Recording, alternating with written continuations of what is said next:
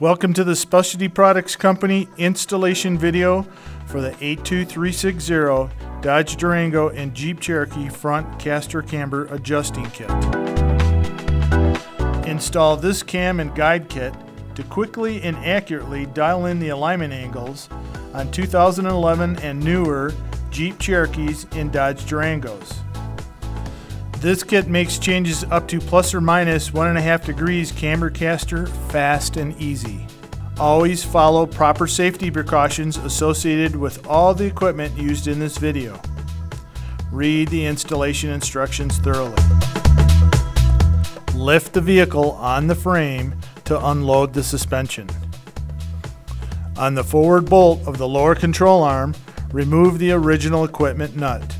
Do not remove the control arm bolt.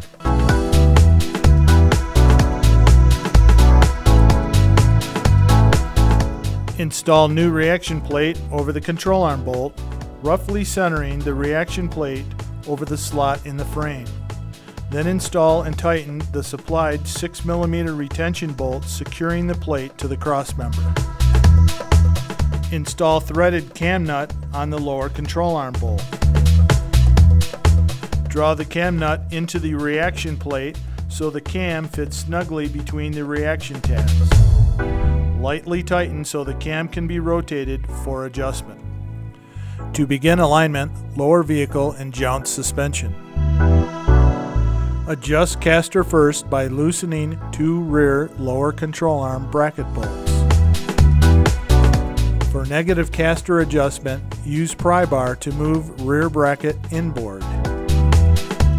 For positive caster adjustment, move bracket outboard.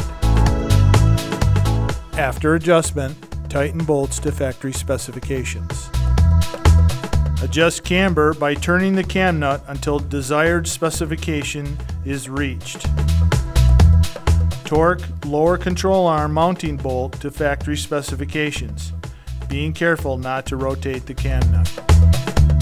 Complete the alignment and test drive.